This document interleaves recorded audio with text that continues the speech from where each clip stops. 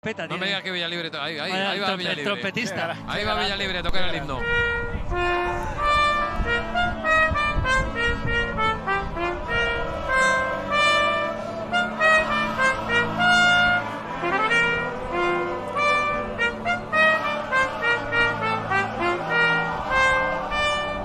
No sabemos lo bueno o malo eh, que esté con la trompeta.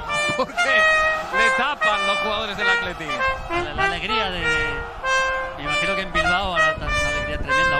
que para, para hablábamos del Atlético y para mí ha sido justísimo campeón. Que el partido para el Barça queda la peor forma posible. Gran decepción y ojo a Messi que va a ser sancionado con toda seguridad.